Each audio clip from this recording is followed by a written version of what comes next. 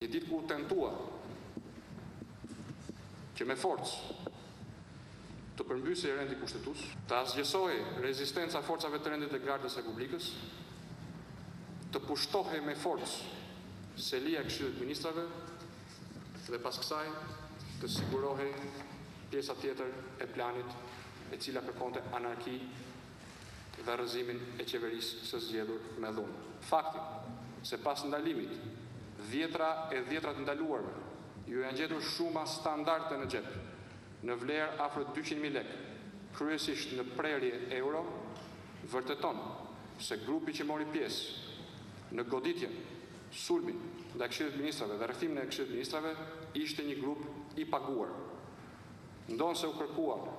që të merren veprime të tjera hetimore për të vërtetuar informacionin operativ